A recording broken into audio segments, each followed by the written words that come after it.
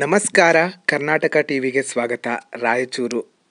ಮಂತ್ರಾಲಯದ ಕಲಿಯುಗದ ಕಾಮಧೇನು ಗುರು ರಾಘವೇಂದ್ರ ಸ್ವಾಮಿಗಳ ನಾನ್ನೂರ ಒಂದನೇ ಪಟ್ಟಾಭಿಷೇಕ ಹಾಗೂ ನಾನ್ನೂರ ಇಪ್ಪತ್ತೇಳನೇ ವರ್ಧಂತಿ ಉತ್ಸವ ಅಂಗವಾಗಿ ಗುರು ವೈಭವೋತ್ಸವ ವಿಜೃಂಭಣೆಯಿಂದ ನಡೆಯುತ್ತಿದೆ. ದೇಶದ ಮೂಲೆ ಮೂಲೆಯಿಂದ ಭಕ್ತ ಸಾಗರ ಹರಿದು ಬರುತ್ತಿದ್ದು, ಮಂತ್ರಾಲಯದಲ್ಲಿ ಸಂಭ್ರಮ ಮನೆ ಮಾಡಿದೆ. ಮಾರ್ಚ್ ನಾಲ್ಕರಿಂದ ಒಂಬತ್ತರವರೆಗೆ ಗುರು ರಾಯರ ಸನ್ನಿಧಿ ಮಂತ್ರಾಲಯದಲ್ಲಿ ಗುರು ವೈಭವೋತ್ಸವ ಹಿನ್ನೆಲೆ ಸಂಭ್ರಮ ಮನೆ ಮಾಡಿದೆ. ಇಂದು ರಾಯರ ನಾನ್ನೂರ ಒಂದನೇ ಪಟ್ಟಾಭಿಷೇಕ ಮಹೋತ್ಸವ ನಡೆಯುತ್ತಿದ್ದು, ಬೆಳಗ್ಗೆಯಿಂದಲೇ ಶ್ರೀಮಠದಲ್ಲಿ ವಿಶೇಷ ಪೂಜೆಗಳು ಆರಂಭಗೊಂಡಿವೆ. ರಾಯರ ಪಾದುಕೆಗಳಿಗೆ ಶ್ರೀಮಠದ ಪೀಠಾಧಿಪತಿ ಶ್ರೀ ಸುಬುಧೇಂದ್ರ ತೀರ್ಥರು ವಿಶೇಷ ಪೂಜೆ ನೆರವೇರಿಸಿದರು. ಶ್ರೀಮಠದ ಪ್ರಾಂಗಣದಲ್ಲಿ ಪ್ರಹ್ಲಾದ್ ರಾಜರಿಗೆ ಮುತ್ತು, ರತ್ನ ಮತ್ತು ಕನಕಗಳಿಂದ ಅಭಿಷೇಕ ನೆರವೇರಿಸಲಾಯಿತು. ಗುರು ವೈಭವೋತ್ಸವ ಹಿನ್ನೆಲೆ ಮಂತ್ರಾಲಯ ಮಠದಲ್ಲಿ ವಿಶೇಷ ಸ್ವರ್ಣ ರಥೋತ್ಸವ ನಡೆಯಿತು. ರಾಯರ ಪಾದುಕೆಗಳನ್ನು ರಥೋತ್ಸವದಲ್ಲಿಟ್ಟು ಪ್ರಾಂಗಣದಲ್ಲಿ ನಡೆದ ರಥೋತ್ಸವ ನಡೆದಿದ್ದು, ರಥೋತ್ಸವಕ್ಕೆ ಸಹಸ್ರಾರು ರಾಯರ ಭಕ್ತರು ಸಾಕ್ಷಿಯಾಗಿದ್ದರು ರಥೋತ್ಸವದ ನಂತರ ಮಾತನಾಡಿದ ಪೀಠಾಧಿಪತಿ ಶ್ರೀ ಸುಬುಧೇಂದ್ರ ತೀರ್ಥರು, ಶೀಘ್ರವೇ ವಿಶ್ವಕ್ಕೆ ಹಿಡಿದಿರುವ ಯುದ್ಧದ ಭೀತಿ ತೊಲಗಲಿ ಎಂದು ಆಶೀರ್ವಚನ ನೀಡಿದರು.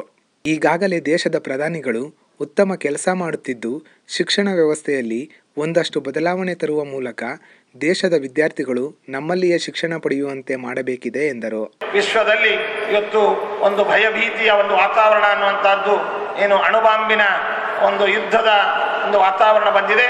ಇದು ಶಾಂತವಾಗಿ ಎಲ್ಲ ಕಡೆಯಲ್ಲಿಯೂ ಕೂಡ ಶಾಂತಿ ನೆಲೆಗೊಳ್ಳಲಿ, ಜನಜೀವನವು ಸಾರ್ಥಕವಾಗಲಿ, ಶಾಂತಿಯುತವಾಗಲಿ ಎಂಬುದಾಗಿ ಸಮಸ್ತ ಮನುಕುಲದ ಪರವಾಗಿ ರಾಘವೇಂದ್ರ ಸ್ವಾಮಿಗಳವರ ಅಂತರ್ಯಾಮಿಯಾದಂತಹ ಭಾರತೀಯ ಮುಖ್ಯ ಪ್ರಾಣ ಅಂತರ್ಗತ ನಮ್ಮ ಉಪಾಸ್ಯ ಮೂರ್ತಿಯಾದ ಮೂಲ ರಾಮದೇವರ ಪಾದ ಪದ್ಮಗಳಲ್ಲಿ ಪ್ರಾರ್ಥಿಸು. ಇನ್ನು ಈ ವರ್ಷದ ಗುರು ವೈಭವೋತ್ಸವ ರಾಯರ ಪಟ್ಟಾಭಿಷೇಕ ಕಾರ್ಯಕ್ರಮದಲ್ಲಿ ಧರ್ಮಸ್ಥಳದ ಧರ್ಮಾಧಿಕಾರಿಗಳಾದ ಡಾಕ್ಟರ್ ವೀರೇಂದ್ರ ಹೆಗ್ಗಡೆಯವರು ಭಾಗವಹಿಸಿದ್ದು ವಿಶೇಷವಾಗಿತ್ತು.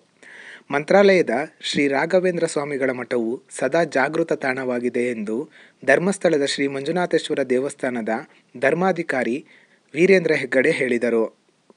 ಮಂತ್ರಾಲಯದಲ್ಲಿ ಶುಕ್ರವಾರದಿಂದ ಆರಂಭವಾದ ಗುರು ವೈಭವೋತ್ಸವದಲ್ಲಿ ಮೊದಲ ದಿನ ನಡೆದ ರಾಯರ ಪಟ್ಟಾಭಿಷೇಕ ಮಹೋತ್ಸವದಲ್ಲಿ ಭಾಗವಹಿಸಿ ಮಾತನಾಡಿದ ಅವರು, ದೇವರ ಕಣ್ಣು ತಪ್ಪಿಸಿ ಮನುಷ್ಯ ಯಾವುದೇ ಕಾರ್ಯ ಮಾಡುವುದಕ್ಕೆ ಆಗುವುದಿಲ್ಲ.